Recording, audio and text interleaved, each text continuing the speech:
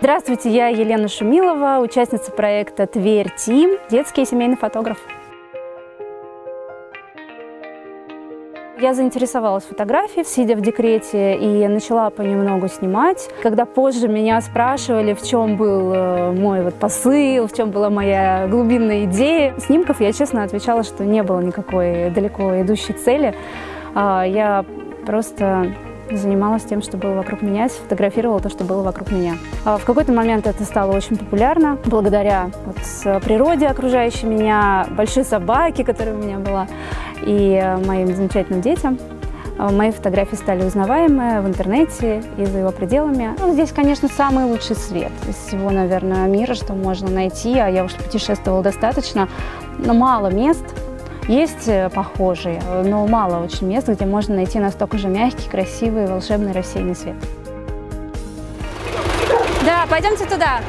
На минуточку сесть, пожалуйста, Петрусик. Я даже могу сказать, что, честно говоря, наверное, западной публике, иностранной публике мои фотографии изначально были более интересны, чем российской. Уже потом как-то, мне кажется, на вторым планом подключилась э, вот, популярность в России. Конечно, внутреннее чутье фотографа – это замечательно, но, как ни крути, все мы хотим какой-то отдачи от своего творчества, и все мы хотим в какой-то степени нравиться людям, и э, мы хотим быть понятыми. И дети с животными, конечно, интересуют людей все-таки значимо больше, чем чья-то тяжелая судьба.